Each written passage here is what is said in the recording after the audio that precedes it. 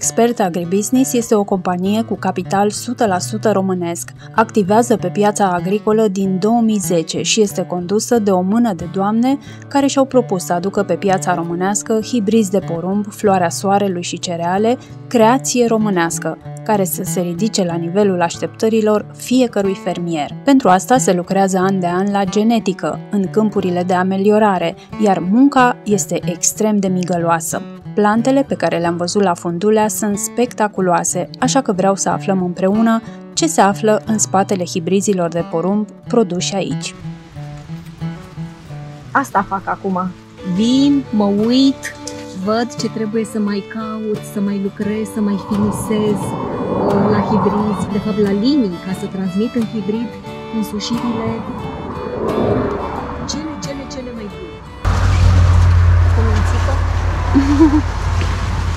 nu așa că vorbiți cu ele? Oh, da! Ce le spuneți? În primul rând, în vara asta le-am spus că trebuie să înflorească și trebuie să mă tăsească. Uh, adică trebuie să-mi apară stigmatele singurele, fără să le ajut eu, astfel încât să am coincidență înflorit mătăsit și să-mi facă suficient de multe bobițe. Uh, ca să pot, uh, să pot testa. Unele dintre ele n-au vrut. Deci unele plante efectiv n-au vrut. Și Mai sunt și încăpățânate, nu? Sunt și încăpățânate, da. Exact Așa, ca oamenii. Exact ca oamenii. Dar uh, într-un final a fost, cred că a fost cel mai intens și cel mai frumos și unul dintre cele mai grele sezoane pe care le-am avut. Scopul meu este în câmpul de ameliorare care se vede în dreapta mea, este să creez cât mai multă diversitate și variabilitate genetică, pentru că aceasta este esența unui program uh, valoros de ameliorare. De aici trebuie să extrag liniile noi de ameliorare, mult mai bune, cu însușiri mult mai valoroase, pe care după aceea să le trec în câmpul din stânga mea, unde le fac înmulțirea și unde le fac uh, testarea pentru capacitatea de combinare și pentru că efectul heterozis, ceea ce înseamnă hibrizi noi de porumb uh, cu adaptabilitate bună, cu plasticitate foarte bună și cu potențial de producție uh, așa cum ne cer fermierii noștri. Anul acesta, hibrizii Cera, cum s-au comportat și de când și-au început uh, parcursul, cum au evoluat? Întotdeauna în spatele hibrizilor cu care noi ne afișăm în fața cultivatorilor se află o echipă de oameni și se află o muncă extraordinară, o muncă câteodată decisiv. În ceea ce privește hibrizii, până la acest moment se comportă foarte bine, special pe zonele unde am avut și condiții foarte bune. Încă nu avem un feedback de pe zona de vest, unde condițiile sunt foarte grele anul acesta, în sensul că există arșiță și a fost și secetă pedologică.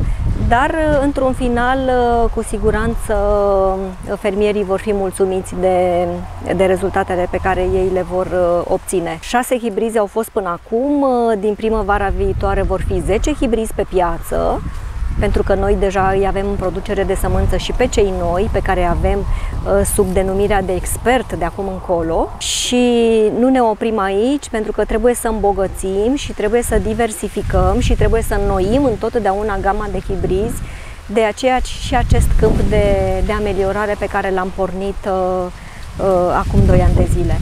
Ce cer fermierii de fapt? Ce vor de la hibrizii de porumb de regulă? Că sunt convinsă că în creația dumneavoastră țineți cont de aceste cerințe. În anii foarte favorabili, uh, fermierii doresc uh, potențial de producție, capacitate de producție cât mai mare, uh, care să se apropie foarte mult de hibrizii competitori pe care, care sunt pe piață iar într-un an uh, cu condiții severe uh, de temperatură și umiditate, categoric avem nevoie de toleranță la secetă și arșiță.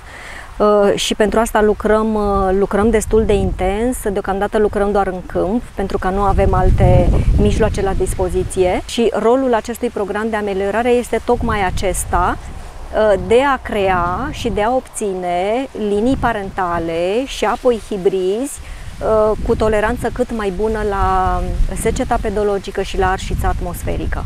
De ce ar cumpăra fermierii români hibrizi uh, de la Expert Agribusiness? Au capacitate foarte bună de producție, pentru că și ei parcurg procesul de testare îndelungat, atât în rețeaua noastră, cât și în rețeaua Istis, de aproape șase ani de zile înainte ca ei să, să intre pe piață.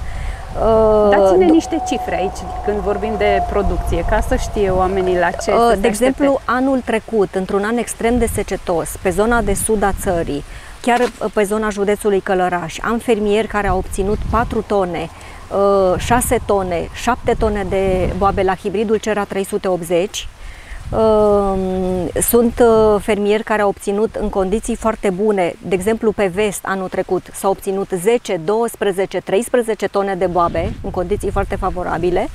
Deci este marja de producție uh, în care se încadrează majoritatea hibrizilor uh, de pe piață. Din câte știu eu, hibrizii cer au un procent foarte mare de proteină. Da, este nu... un aspect care îi uh, diferențiază Calitatea. față de cei de pe piață. Da, da? Și pentru... un atu extraordinar pentru cei care folosesc acest porumb în creșterea animalelor, da? exact. da? pentru că aduce un spor exact. de producție. Doar că uh, de creștere. gama acestor hibrizi este destul de limitată pentru că nișa este încă limitată. Sunt foarte puțini fermieri care solicită acest porumb, acest tip de porumb. Din aceste populații pe care le am în fața mea, Uh, trebuie să găsesc, să extrag niște linii parentale din care să obțin hibrizi cu indice de plutire uh, mic, care ne dau un randament la măciniș uh, pentru obținerea mălaiului grișat foarte bun și acesta este o însușire solicitată de fermieri. Deja mi-au solicitat acest, acest lucru fermierii. Lucrăm de asemenea pe conținutul de ulei, Uh, în bob și vreau să ajung uh, să obținem un hibrid cu un conținut de ulei de 8-10-12%. La dublu, porumb la... se caută uleiul de porumb sau de ce? Nu știu, nu știu la ce nivel se caută în România uleiul de porumb, dar trebuie să ajungem uh, la o astfel de educație Uh, noi consumatorii, încât să facem diferența între calitate, între ceea ce este bun și ceea ce este mai puțin bun. Și pot să vă spun, am spus-o de nenumărate ori, cu foarte multe ocazii, uleiul din germenii de porumb este unul dintre cele mai bune și cele mai dietetice uleiuri. Și ar fi păcat să nu cunoaștem acest lucru și să nu valorificăm acest lucru dacă avem posibilitate. Excelent! În țară, la noi, se procesează se extrage acest ulei din porumb? Uh, Știți din câte, știu, din câte știu eu nu, m-am interesat. Uh, atâta vreme cât nu sunt hibrizi specializați uh, cu conținut ridicat de ulei, uh, nu cred că, că deci se, sunteți o temerară. Da, eu, eu... Deschideți o poartă largă antreprenorilor și uite, dați o idee de afaceri, zic eu, exact, în momentul exact, acesta. Exact, Dacă eu Foarte vin cu, cu sămânța, cu acest conținut de ulei, cu siguranță trebuie să dezvoltăm și partea de parteneriat, procesare. de procesare, Uh, cu procesatori mici uh, care să, să extragă acest uh, tip de ulei. Foarte interesant. Așadar, vom avea curând pe piață hibrizi de porumb numai bun pentru extracția de ulei. O idee minunată din mai multe motive. Este o noutate pe piața românească, se înscrie în zona procesării, care va primi curând finanțare europeană de până la 1 miliard de euro, constituie un aliment cu multe beneficii pentru sănătate, iar piața externă este în căutare de producători. Vă trebuie doar un plan de afaceri și asociați-vă, zic eu, ca să obțineți fonduri nerambursabile în procent cât mai mare. Succes și mulțumim doamnei Georgeta Dicu pentru idee!